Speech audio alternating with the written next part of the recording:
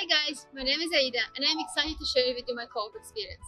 I'm a grad student at Northeastern University majoring in corporate and organizational communication and my concentration is social media marketing.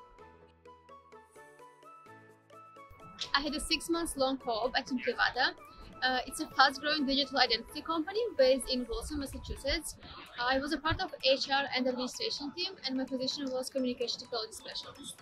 Uh, so my main responsibilities included creating and editing content for online courses for Imprivata Learning and Management System, uh, along with supporting other learning and development initiatives.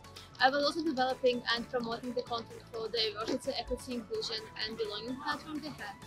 Uh, I really enjoyed my time at Imprivata. My manager and the whole team I was working with were very supportive throughout the program, and I really feel that this experience boosted my confidence in myself.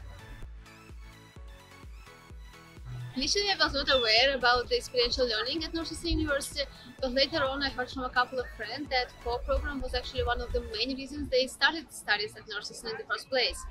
And now, after completing this program, I can assure you that this is a great opportunity for students to gain experience in the field and to explore the potential career paths before getting a degree.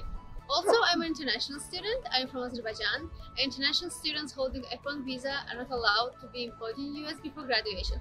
Uh, so co-op gives us a chance to get an insight of how businesses in US work and expand our professional network before graduation.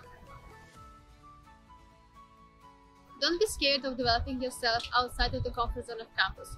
No one expects you to know everything when you're applying for co-op or internship positions.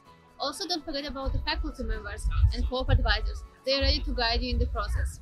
If you are not still sure about your career choice, taking a break from classes and working in the field might actually help you. And I want to finish by quoting one of my professors, Bob Cargill, go conquer the world.